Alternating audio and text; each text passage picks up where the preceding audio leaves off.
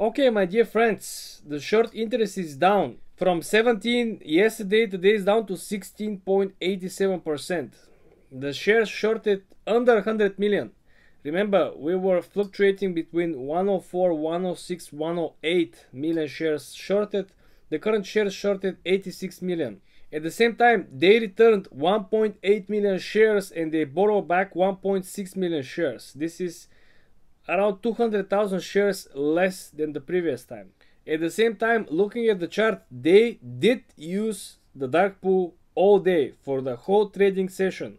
AMC currently is down uh, 8%. See, I knew that there will be a short attack. We talk about it, but I expected to be on Thursday, right before uh, we see Friday with expiration days for the options, because I didn't expect that they will short so early. Uh, I expected for them to leave the stock to run so they can actually collect more premium, more people to hop in on this $50 strike price. Today also the volume was low, was 82 million volume, remember.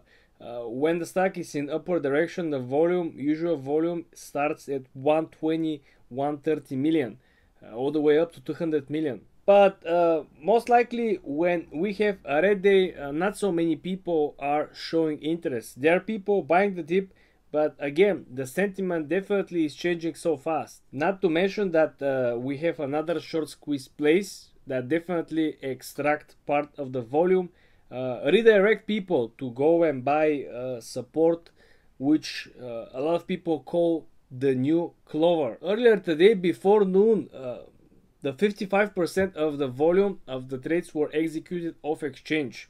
I believe uh, this number definitely is up. We still don't have the data from the dark pool from the afternoon, but definitely will be up.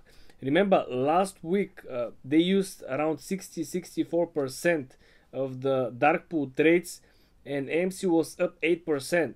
So in day like today, uh, who knows, they might actually use 80 or more percent of the trades. And this particular article, blog post, I would say, create a huge hype in the AMC community with uh, title AMC fails to deliver up 1088%. I mean, if you're asking me, I don't think this is the whole number. But uh, let's go over the details. So according to this article, in the first half of August, the latest data released from SEC shows that fails to deliver in AMC entertainment stock it's up over 1000%. So all of these fail, fails to deliver should be bought back. But guess what? If these shares are actually naked shorts, the fails to deliver in AMC are truly enormous. A little bit more context. Apple is the largest stock in the market at 113 times AMC's market cap. In other words, Apple market cap is 113 times bigger than AMC's market cap. But at the same time, the FTDs in AMC are 157 times more than the FTDs in Apple. The craziest thing here, guys, is that the short sellers are using so much and so many different tools to beat the opponent. And from the other side, what you have? You have individual investors, they're fighting back. But how they're fighting back? They just keep buying the stock and holding. I mean, they don't have any offense, right?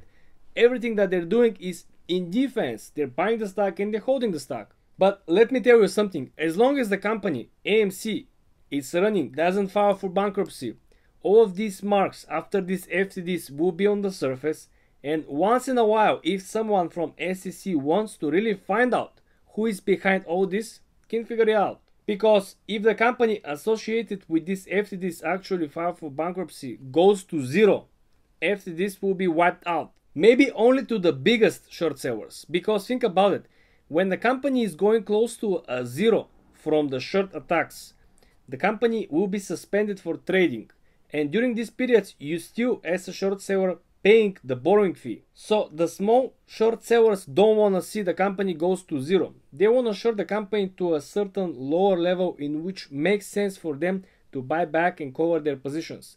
But the big short sellers which use a tactics like naked shorting, they have millions and millions of shares fail to deliver that wouldn't exist. They didn't borrow, they didn't short.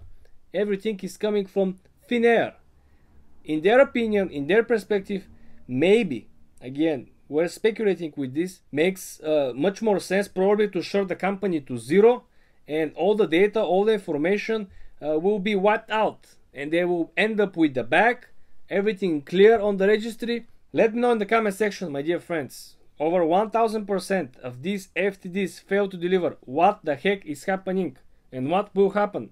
I honestly think that this is the question that should be directed to Gary Gensler from Mark Cuban. Please guys, hit the like button if you agree with this. Also subscribe to the channel, don't get too hyped for the chart of AMC, things will get better eventually and come back for more.